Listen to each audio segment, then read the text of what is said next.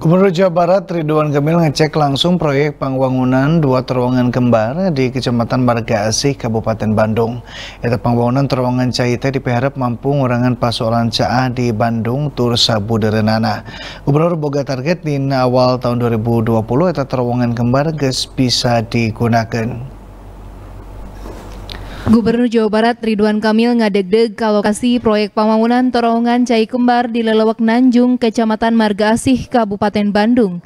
Eta terowongan kembar anu diwangun ku pamarentah Provinsi Jawa Barat teh panjangna 230 meter, terutama mampu nampung 700 meter kibik cai per detikna.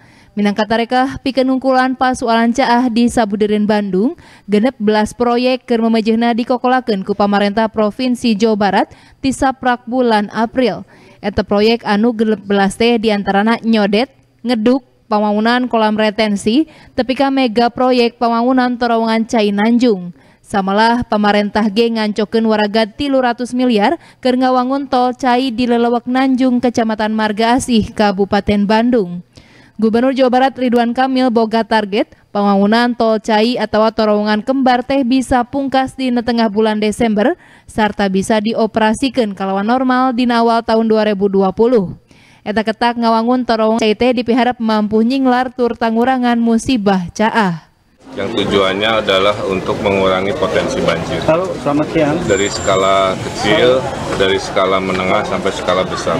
Dari 16 proyek itu, proyek terbesarnya adalah namanya pembangunan terowongan dua jalur untuk mengalirkan air yang sering melambat di daerah Curug Jompong ini yang sering kali membuat dahulu-dahulu air itu balik kanan karena berkelok-kelok dan banyak batu besar ya sehingga air yang deras dari arah uh, selatan ini akhirnya mengalir menjadi penyempitan.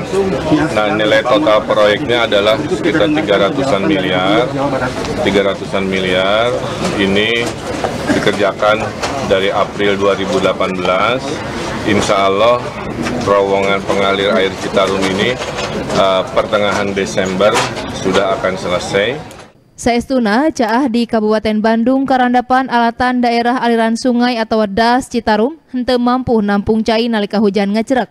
Liantik itu halge karandapan lantaran nambahanana sedimentasi, ngaheuretanana walungan, sarta kebiasaan goreng masyarakat anu remen mijen runtah kawalungan. Rezitia Prasaja, Bandung TV.